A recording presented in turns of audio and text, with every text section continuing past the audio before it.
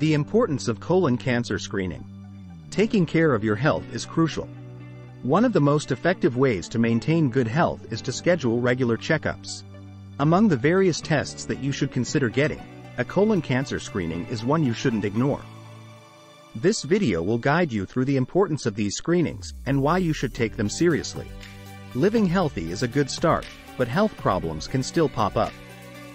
Colon cancer is one such problem that can grow quietly, often without any symptoms. Colon cancer is more usual than you may think. It's one of the most common cancers worldwide, affecting millions of people. Both men and women of all ages can be at risk. Knowing the risk factors is key.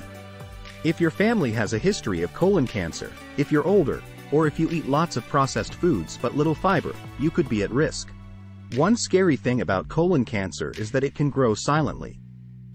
It can develop for years without causing symptoms, making it hard to catch until it's advanced. Screening for colon cancer helps us find it early. This way, we can treat it sooner and more effectively. There are several ways to check for colon cancer, like colonoscopy, fecal occult blood tests, and sigmoidoscopy.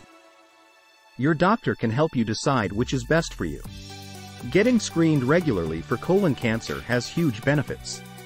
It can save lives by finding and treating colon cancer early before it spreads.